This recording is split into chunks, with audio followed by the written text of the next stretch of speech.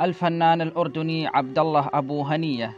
هو مؤلف ومخرج. لمع من خلال مجموعة من الأعمال التلفزيونية الأردنية. كان أهمها مسلسل أبو عواد والذي ضم مجموعة من نجوم الفن العربي والأردني. كان من أبرزهم فادية خطاب ونبيل المشيني وعبير عيسى.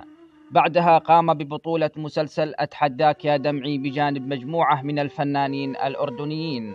كان أبرزهم النجمة الأردنية عبير عيسى وفؤاد الشوملي ومن إخراج محمد عايش. وكذلك قام ببطولة مسلسل الكنعاني إلى جانب مجموعة من الفنانين الأردنيين والفلسطينيين وغيرهم. كما شارك في مسلسل تل الريشوني ومسلسل وإلى لقاء آخر.